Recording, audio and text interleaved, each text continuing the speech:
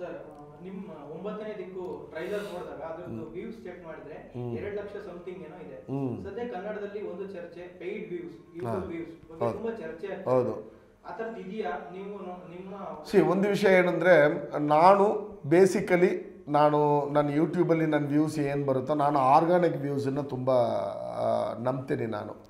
To be honest ನನ್ನ ಇಷ್ಟು ವರ್ಷ ಸಿನಿಮಾ ಸ ಇತಿಹಾಸದ ಇತಿಹಾಸದಲ್ಲಿ ನಾನು ಯಾವತ್ತೂ ಪೇಯ್ಡ್ ವ್ಯೂಸ್ ಮಾಡಿಲ್ಲ.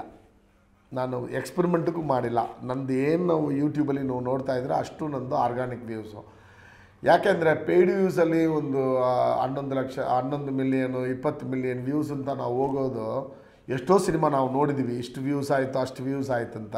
ಥಿಯೇಟ್ರ್ಗಳಿಗೆ ಜನಗಳು ಬರ್ತಾರಾ? ಇಲ್ಲ. ಸೊ ಏನು ಅಂದರೆ ಆ ಆ ಆ ಫಿಲ್ಮ್ ಮೇಕರ್ ಆ ಪ್ರೊಡ್ಯೂಸರ್ದು ಉದ್ದೇಶ ಏನಿರುತ್ತೆ ಅಂದರೆ ಈ ಕಂಟೆಂಟನ್ನು ಫಸ್ಟ್ ತಲುಪಿಸ್ಬಿಡೋಣ. ಒಳ್ಳೆ ಕಂಟೆಂಟ್ ಇದೆ. ಅದು ಅವ್ರಿಗೆ ತಲುಪಿಸಿದ್ರೆ ಅವ್ರು ಆಟೋಮೆಟಿಕ್ಲಿ ಬಂದುಬಿಡ್ತಾರೆ ಒಳ್ಳೆ ಕಂಟೆಂಟ್ ಅಂತ ನೋಡಿಕೊಂಡು. ಹಂಗಿರಲ್ಲ ಅಂತ ನಾನು ಅಂದ್ಕೊಳ್ತಾ ಇದ್ದೀನಿ. ಕಂಟೆಂಟನ್ನು ತಲುಪಿಸೋದೇ ಬೇಕಾಗಿಲ್ಲ. ಆಲ್ರೆಡಿ ಅವರಿಗೆ ಏನೋದು ವಿಷಯನ ಅನೌನ್ಸ್ ಮಾಡುವಾಗ ಜನಗಳಿಗೆ ತಲೆಗೆ ಹೋಗಬೇಕು. ಇದು ಚೆನ್ನಾಗಿರುತ್ತೆ ಮೋಸ್ಟ್ಲಿ ನೋಡೋಣ ಅಂತ ಅನಿಸ್ಬೇಕು ಅವ್ರಿಗೆ, ಅವರೇ ನೋಡಬೇಕು. ದಟ್ ಈಸ್ ಆರ್ಗ್ಯಾನಿಕ್ ವ್ಯೂ ಅಂತ ಹೇಳ್ತೀವಿ. ಸೊ ಇಲ್ಲಿ ತನಕ ಆಕರ ರಾತ್ರಿನೋ ಒಂದು ಸಿನಿಮಾ ಇವತ್ತು ನನಗೆ ನೀವು ವ್ಯೂಸ್ ನೋಡಿದ್ರೆ ಒಂದು ಐದು ಲಕ್ಷನೋ ಆರು ಲಕ್ಷ ವ್ಯೂಸ್ ಇರುತ್ತೆ ಅಷ್ಟೇ ಇರುತ್ತೆ. ಬಟ್ ಸಿನಿಮಾ ಸೂಪರ್ ಡೂಪರ್ ಇಟ್ಟು ಸೊ ವ್ಯೂಸ್ಗೆ ಅದಕ್ಕೂ ಸಂಬಂಧ ಇಲ್ಲ.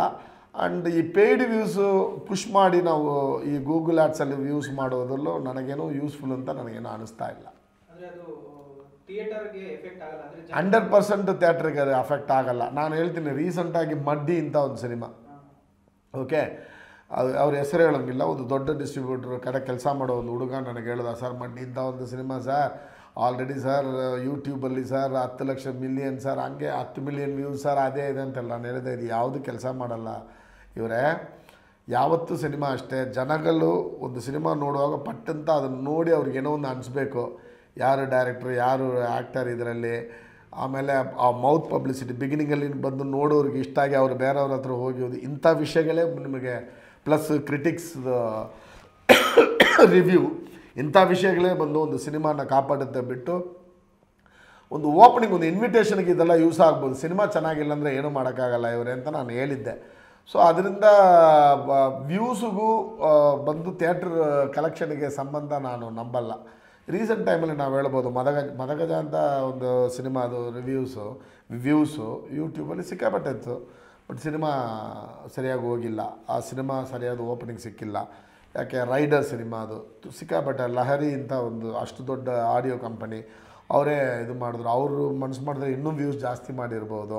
But cinema. ಸೊ ಸಿನಿಮಾ ಅನ್ನೋದು ಏನಂದರೆ, ಆ ಓಪನಿಂಗಲ್ಲಿ ಜನ ಬಂದು ನೋಡಿ ಇಂಪ್ರೆಸ್ ಆಗಿ ಬೇರೆಯವ್ರಿಗೆ ಹೇಳೋದೇ ಇದು. ಗರಡ ಗಮನ ಬಂದು ನೀವು ನೋಡಿದ್ರೆ ನನ್ನ ಪ್ರಕಾರ that was not organic views that is also paid views ಅಂತ ನನ್ನ ಪ್ರಕಾರ. ನನ್ನ ಸಿನಿಮಾ ಎಕ್ಸ್ಪೀರಿಯನ್ಸಲ್ಲಿ ನಾನು ಸ್ಟ್ರೈಟ್ ಅವೇ ಹೇಳ್ತೀನಿ. ಅವ್ರು ಬೇಜಾರು ಮಾಡ್ಕೊಂಡು ನನಗೇನು ಪ್ರಾಬ್ಲಮ್ ಇಲ್ಲ. ಆ ಥರ ಒಂದು ಒಂದು ಲಿಟಲ್ ಬುದ್ಧ ಅಂತ ಒಂದು ಚಾನಲಲ್ಲಿ ಹಾಕೋ ವ್ಯೂ ಒಂದು ಕಂಟೆಂಟ್ ಅಷ್ಟು ವ್ಯೂಸ್ ಹೋಗೋಕ್ಕೆ ಚಾನ್ಸಸ್ಸೇ ಇಲ್ಲ. That is also paid views but ಅದು ಹೆಲ್ಪ್ ಆಯಿತು ಅವರಿಗೆ. ಕೆಲವು ಟೈಮ್ ಏನಾಗುತ್ತೆ ಅಂದರೆ ಒಂದು ಓಪನಿಂಗ್ ಚೆನ್ನಾಗಾಯಿತು ಅಲ್ಲಿಂದ ಪಬ್ಲಿಸಿಟಿ ಚ, ಅಂದರೆ ಮೌತ್ ಪಬ್ಲಿಸಿಟಿ ಹೋಯಿತು ಸಿನಿಮಾ ಹಿಟ್ ಆಯಿತು. ಸೊ ಜನರಲಿ ಈ ಆರ್ಟಿಫಿಷಿಯಲಾಗಿ ನಾವು ಮಾಡ್ಕೊಳ್ಳೋ ವ್ಯೂಸ್ ಒಂದು ನಮ್ಮ ಸಿನಿಮಾಗೆ ಹೆಲ್ಪ್ ಆಗುತ್ತೆ ಅನ್ನೋದು I don't think it is going to be useful